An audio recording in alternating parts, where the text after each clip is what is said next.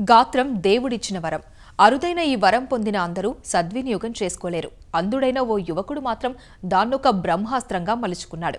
గాత్రాన్ని సాధనతో మరింత సానపెట్టి శ్రోతల్ని మంత్రముగ్ధుల్ని చేస్తున్నాడు. ఆర్జే మ్యూజిక్ కంపోజర్ మిమిక్రీ ఆర్టిస్టుగా ప్రతిభ చూపుతున్నాడు. నేపథ్య గాయకుడిగా రాణించాలనే లక్ష్యానికి ఒక్క అవకాశం దూరంలో వేచి చూస్తున్నాడు విజయనగరం యువకుడు మాధవ్.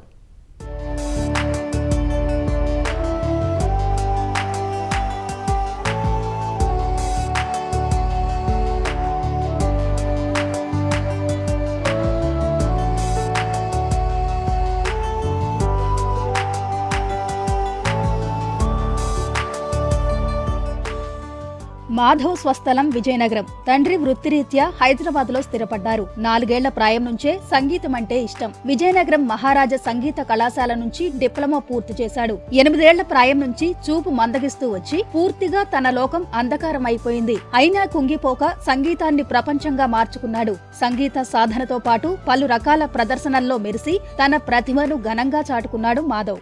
ఓ చాకలి గంగవ మా చల్లని తల్లివి నీవమ్మా.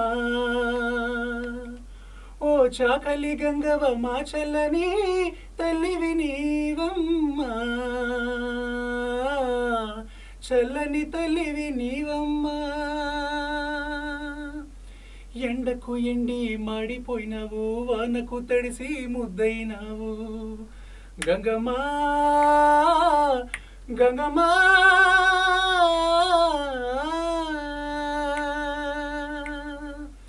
ఎండకు ఎండి మాడిపోయినావు వానకు తడిసి ముద్దయినావు. ఓ నాకు ఫోర్ ఇయర్స్ వచ్చిన దగ్గర నుంచి. ఏ సాంగ్ అయినా ఒకసారి వినగానే ఆ సాంగ్ అట్లా వెంటనే పాడేయడం నాకు అలవాటు అనమాట ఒక సినిమా చూసినా ఎక్కడైనా సాంగ్ విన్నా ఓన్గా పాడేయడం అలవాటు. తర్వాత అలానే ఒక లిరిక్ ఏదైనా ఇస్తే ఆ లిరిక్కి ట్యూన్ నేను ఓన్గా చేసుకొని పాడడం అలవాటు చేసుకున్నాను చిన్నప్పటి నుంచి. తర్వాత నాకు గ్రాడ్యువల్గా కొంచెం నా vision at the age of eight years నుంచి కొంచెం నా విజన్ తగ్గుకుంటూ రావడంతో ఇంకా నా ఫుల్ కాన్సన్ట్రేషన్ అంతా కూడా ఈ మ్యూజిక్ పైనే మాట. నేను ఓన్గా పాటలు రాసుకోవడం పాడడం. అలా నేను చిరంజీవి గారి మీద కూడా ఓన్గా ఒక సాంగ్ రాసుకొని టూ థౌజండ్ ఎయిటీన్లో ఆయన ముందు పాడానమాట. రెండు వేల తొమ్మిదిలో ఈటీవీలో వచ్చిన black the colour of music show విజేతగా నిలిచాడు మాధవ్. ఈ కార్యక్రమం ద్వారా పలువురు ప్రముఖులు పరిచయం కావడంతో వంశీ ఇంటర్నేషనల్ సంస్థ ఆధ్వర్యంలో స్వరార్చనను కొనసాగించాడు. ఆ సంస్థ చేసే పలు ప్రదర్శనలు కార్యక్రమాల్లో తన గాత్రంతో శ్రోతల మనసులు గెలిచాడు మాధవ్. ఏకబిగిన రెండు వేల పాటలు పాడి వండర్ బుక్ ఆఫ్ రికార్డు సొంతం చేసుకున్నాడు మాధవ్. మల్లెతిగల అల్లుకు నన్ను మరదలు పిల్ల. మల్లెపూలు గొనిబెడదనే మరదలు పిల్ల మల్లె తీగల అల్లుకు నన్ను మరదలు పిల్ల. మల్లెపూలు గొనిపెడదని మరదలు పిల్లు. ఆ పట్టుకోవిన సెయ్యి కాస్త మరదలు పిల్లు. పటు సీర మరదలు పిల్లు. వెండి తెరపై వెలుగు వరదై వెలిగే స్టార్ మెగా స్టార్. తరతరాల తిరుగులేని Telugu చెరితే mega star mega star mega star. Sye Raa mega star mega star mega star. ETV black the colours of music అనే ఒక ఒక రియాలిటీ షో అనమాట సో అందులో వన్ ఆఫ్ ద విన్నర్గా అందులో నిలిచిన పాటలు పాడి సో అక్కడ దాసరి నారాయణరావు గారు కె విశ్వనాథ్ గారు సో ఇలాంటి పెద్దలందరి దగ్గర పాడి వాళ్ళ చేతుల మీదుగా బహుమతి తీసుకునే భాగ్యం నాకు కలిగించింది ఈటీవీ సంస్థ. అంటే ఫస్ట్ అది మాట ఒక అంటే మన నాకు ఒక ఎంకరేజ్మెంట్ మొదలైంది ఆ- ఆ- షో నుంచి అనమాట ఈటీవీ బ్లాక్ షో నుంచి. అన్ని సాంగ్స్ ఏది నేను చూడకుండా అన్ని మొత్తం మెమరీ చేసుకొని పాడతాను అనమాట సో అలా నేను ఒక రెండు మూడు వేల పాటలు నేను మెమరీ చేసుకున్నాను సో అందుకు వండర్ బుక్ ఆఫ్ రికార్డ్స్ నాకు వంశీ ఇంటర్నేషనల్ ఇప్పించింది. సో అక్కడ పెద్ద పెద్ద వాళ్ళందరూ మురళీమోహన్ గారు జమున గారు అండ్ రాజేంద్ర ప్రసాద్ గారు తర్వాత వీళ్ళందరూ ముఖ్యంగా ఎస్పీబీ సార్ సో వాళ్ళందరి చేతుల మీదుగా నేను బహుమతి తీసుకున్నాను వాళ్ళందరూ ఆశీర్వాదం తీసుకున్నాను. గానంతో పాటు రచన సంగీతంలోనూ మెరుస్తున్నాడు మాధవ్. సొంతంగా పాటలు రాసుకొని పాడుతున్నాడు. తగిన బాణీలు సమకూర్చుకుంటూ మ్యూజిక్ కంపోజర్ గాను ప్రతిభ చూపుతున్నాడు. కొన్ని లఘు చిత్రాలకు నేపథ్య సంగీతం సైతం అందించాడు మాధవ్. నిజంలాంటి స్వప్నం ఎలా పట్టి ఆపాలి? కలే అయితే నిజము ఎలా తట్టుకోవాలి? అవును కాదు అడగకంది నా మౌనం. చిలివో శిలవో తెలియకుంది నీ రూపం. చెలిమి బంధమల్లుకుందే. జన్మ తెలుగు సినిమాల్లో పాటలు పాడటం ద్వారా ప్లేబ్యాక్ సింగర్గా రాణించాలనేది మాధవ్ కళ. సంగీతం తప్ప వేరే లోకం తెలియని ఈ ప్రతిభాశాలి ఆ దిశగా అవకాశాల కోసం ప్రయత్నిస్తూనే తెలుగు వంటోరీ రేడియోలో ఆర్జేగా చేస్తున్నాడు. శ్రోతలతో చలాకీగా ఉత్సాహంగా మాట్లాడటమే కాక వారికిష్టమైన పాటలు ఆలపిస్తూ ఆకట్టుకుంటున్నాడు.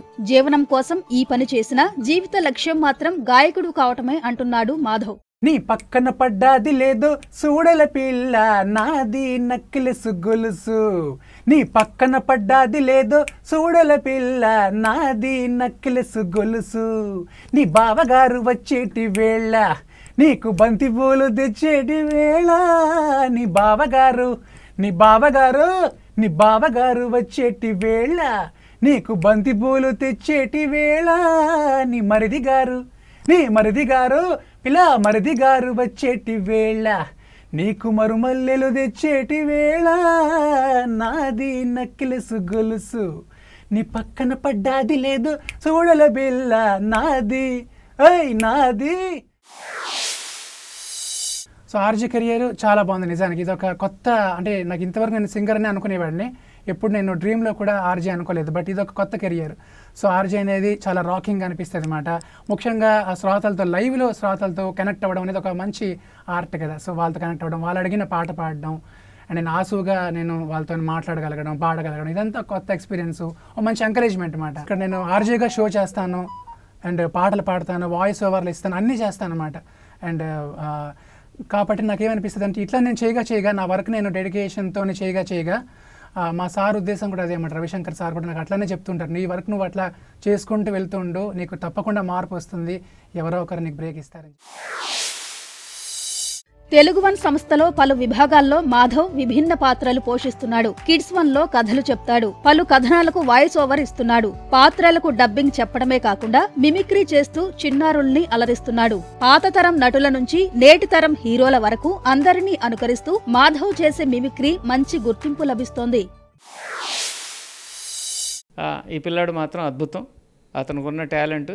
ఇండస్ట్రీ కూడా గుర్తించి మా దగ్గరికి మ్యూజిక్ డైరెక్టర్ వచ్చినా ఈ పెద్ద డైరెక్టర్ కానీ ఎవరైనా వచ్చినా సరే మాధవ్ని పరిచయం చేస్తూ ఉంటాను నేను.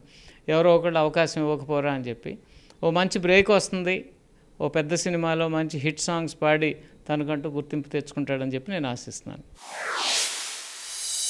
కొత్త విషయాలు నేర్చుకునేందుకు ఆసక్తి చూపించే మాధవ్ ఎలాంటి అంశాలనైనా ఒక్కసారి చెప్పగానే గ్రహిస్తాడని అతడి సహోద్యోగులు అంటున్నారు. మెలోడీ ఫోక్ ర్యాప్ ఇలా అన్ని రకాల జోనర్ల పాటలు పాడే సామర్థ్యం ఉన్న మాధవ్ భవిష్యత్తులో మంచి ప్లేబ్యాక్ సింగర్గా రాణిస్తాడని ఆశాభావం వ్యక్తం చేస్తున్నారు. నేను మాధవ్ తోటి టూ ఇయర్స్ నుంచి వర్క్ చేస్తున్నాను అనమాట సో మాధవ్ టాలెంట్ గురించి చెప్పాలంటే చాలా తొందరగా అంటే తొందరగా నేర్చుకుంటాడండి. అంటే కొంచెం ప్రాబ్లం ఉన్నా కానీ లేదు రోజా నాకు ఇలా ప్రాబ్లం ఉంది లాంటిది అలాంటివి ఇలా ఎక్స్ప్రెషన్స్లో కానీ తన మాటల్లో కానీ అస్సలు తెలీదు. సో చాలా జోయల్గా అండ్ టాలెంట్ విషయానికి వస్తే మా అందరికంటే ఎక్కువ టాలెంట్ తనకే ఉంది. ఎందుకంటే తను మ్యూజిక్ లిరిక్స్ రాసుకుంటారు. కంపోజ్ దీనికి మ్యాక్సిమం ట్రై చేస్తుంటారు. తను పాటలు పాడతారు. మాట్లాడతారు ఆర్జయింగ్ చేస్తారు అండ్ కాలర్స్ ఉండి ఉండి సడన్గా మాధవ్ నా కోసం ఈ సాంగ్ పాడు అన్న టైంలో నాకు రాదు అని చెప్పరు అస్సలు చెప్పరు. అన్న నాకు ఈ సాంగ్ రాలేదు నేను మీకోసం ఈ సాంగ్ పాడతాను అన్న ఒక స్పోర్టివిటీ తనకు చాలా ఉందన్నమాట. లైక్ చాలా స్పోర్టివ్గా ఉంటారు. మా స్టూడియో వచ్చేసి ఫస్ట్ ఫ్లోర్లో ఉంది. మా లంచ్ చేయడానికి థర్డ్ ఫ్లోర్ వెళ్ళాలి. అది కూడా తను స్వయంగా వెళ్ళిపోతాడు. సో ఇక్కడ పనులన్నీ తనే చేసుకుంటున్నాడు. అండ్ మేజర్లీ ఏంటంటే లిసనర్స్ కూడా ఎంత ఇష్టపడతారు మాధవ్ని అంటే మాధవ్ వచ్చాడంటే మంచి పాటలు పాడతాడని మంచి మాటలు మాట్లాడతాడని అందరితో చాలా హ్యాపీ హ్యాపీగా ఉంటాడు జావియల్గా ఉంటాడు. He never let you feel that he suffering with something else or తనకి ఏదైనా ఒక ఇబ్బంది ఉందని చెప్పేసి ఎప్పుడూ నవ్వుతూ హ్యాపీగా తులుతూ ఉంటాడు. పాటలు చాలా బాగా పాడతాడు మా మాధవ.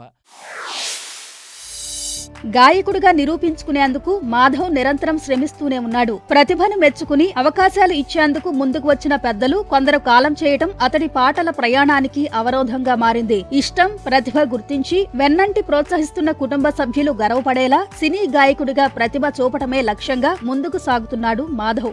మగువా మగువా లోకానికి తెలుసా నీ విలువా? మగువా మగువా నీ సహనానికి సరిహద్దులు కలవా. అటు ఇటువన్నింటా నువ్వే జగమంతా పరుగులు తీస్తావు ఇంట బయట.